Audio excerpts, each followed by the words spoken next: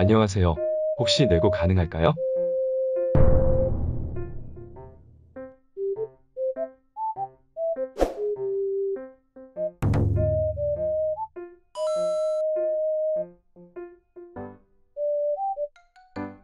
안녕하세요. 혹시 내고 가능할까요? 저, 죄송해요. 그건 좀 어려울 것 같아요. 제가 학생이라서 그런데 어떻게 안 될까요?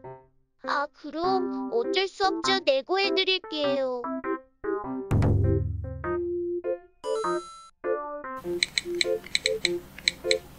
흠번가 수상한데 사기꾼 아니야? 역시 사기꾼이었네 차단해야지. 집에서 안 쓰는 게 있어서 가져와 봤는데 혹시 괜찮으시면 드릴까요?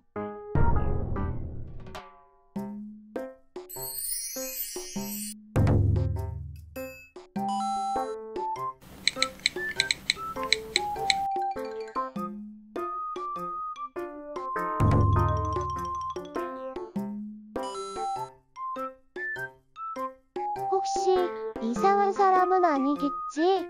아, 긴장된다. 뭐라고 얘기하지?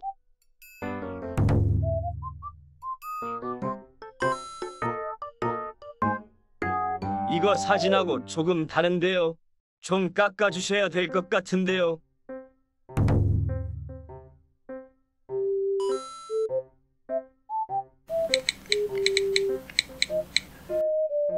뭐야 사기꾼이잖아?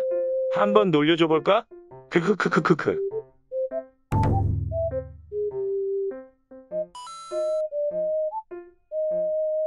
방 정리하는 김에 안 쓰는 물건을 팔아볼까? 이것도 안 쓴 지 꽤 됐고, 이것도, 저것도 팔아야 되고, 왜 이렇게 팔게 많은 거야?